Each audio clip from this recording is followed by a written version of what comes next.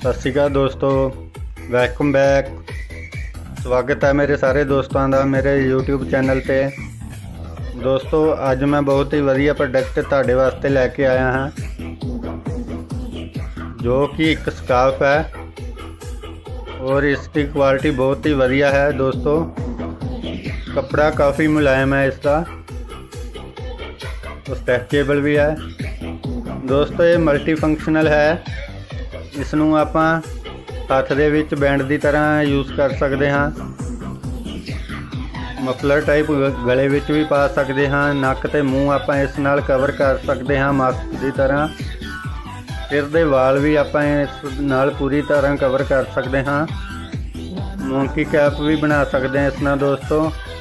ਔਰ hair band ਦੀ ਤਰ੍ਹਾਂ ਵੀ ਵਰਤਿਆ ਜਾ ਸਕਦਾ ਹੈ। ਔਰ ਲਾਸਟ ਤੇ ਹਾਫ ਕੈਪ ਵੀ ਬਣ ਸਕਦੀ ਹੈ ਇਸ ਦੀ। ਸੋ ਕਾਫੀ ਫੰਕਸ਼ਨ ਨੇ ਇਸ ਦੇ ਔਰ ਕੁਆਲਿਟੀ ਬਹੁਤ ਵਧੀਆ ਦੋਸਤੋ। ਮੈਂ ਇਸ ਨੂੰ ਯੂਜ਼ ਕਰਕੇ ਕਾਫੀ ਕੰਫਰਟੇਬਲ ਮਹਿਸੂਸ ਕਰਦਾ ਹਾਂ ਔਰ ਮੈਂ ਆਪਣੇ ਦੋਸਤਾਂ ਨੂੰ ਵੀ ਇਹ ਸਲਾਹ ਦਊਂਗਾ ਕਿ ਕੰਫਰਟੇਬਲ ਰਹਿਣ ਲਈ ਤੁਸੀਂ ਵੀ ਇਸ ਨੂੰ ਜ਼ਰੂਰ ਬਾਏ ਕਰੋ। ਵੀਡੀਓ ਵੇਖਣ ਲਈ ਬਹੁਤ ਬਹੁਤ ਧੰਨਵਾਦ ਦੋਸਤੋ, ਸ਼ੁਕਰੀਆ।